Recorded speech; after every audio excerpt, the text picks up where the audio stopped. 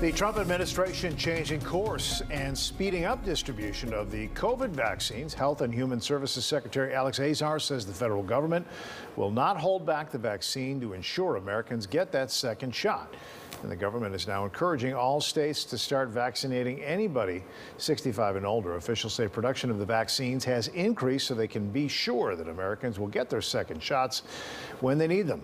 Both the Pfizer and Moderna vaccines need two shots to be more than 90% effective. And some hope on the horizon for more Illinois residents to get their COVID 19 vaccines. The state is preparing to move into the next phase of this and opening up the vaccines to millions more essential workers. And WGN's Dana Rebik is joining us now live from City Hall with that story. Dana?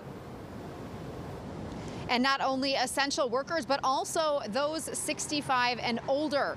The city of Chicago this week is expanding its distribution partners. Jewel Osco, Mariano's, and Walmart all coming online to help speed up this process.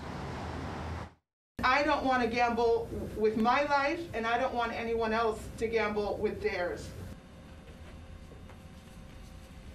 Woo. The state's top doctor received her first COVID 19 vaccine today at Cook County Health's North Riverside Health Center as the state prepares to move to phase 1B in its distribution plan. I am hopeful that many people who were perhaps waiting just a little bit to watch their colleagues get vaccinated will raise their hand to get vaccine today.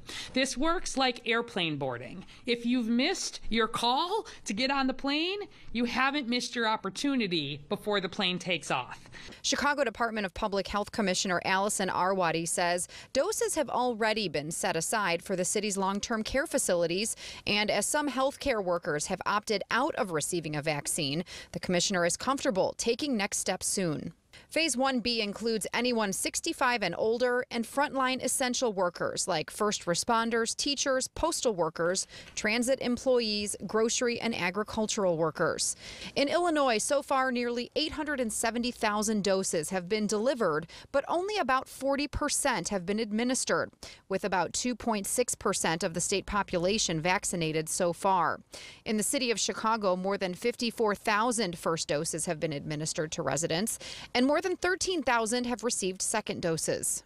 We feel that if we are going to get towards maximal impact, we have to really move both fast and slow. The Oak Street Health Network in Chicago is stepping up to help vaccinate the remaining Phase 1A healthcare workers. These are dentists, these are home health workers, these are therapists, these are nurses. The silent majority of people who are not affiliated with healthcare systems, who are not affiliated with the big medical centers, and who have been worrying alone, desperate to try to figure out how to get access to this vaccine.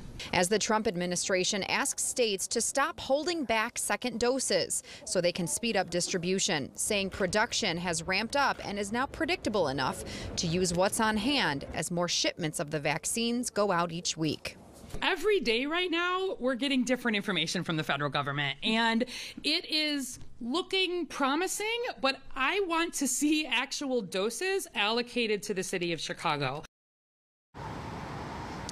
Dr. Arwady says in Chicago, 90% of vaccines will be administered at uh, private uh, practices, hospitals, and pharmacies, and only 10% at mass vaccination sites. Right now, Malcolm X is one of them, and she says in the coming weeks they plan to bring two more city colleges on board. The city also trying to get more people to help administer these shots. She says they are looking into asking nursing students if they'd be willing to help.